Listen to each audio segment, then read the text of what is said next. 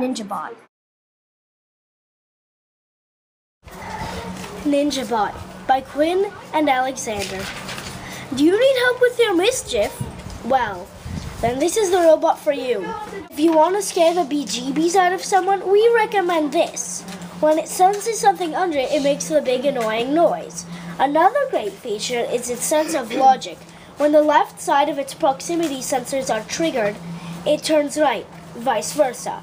When something is in front of it, it will charge, and the same back. And here's a little.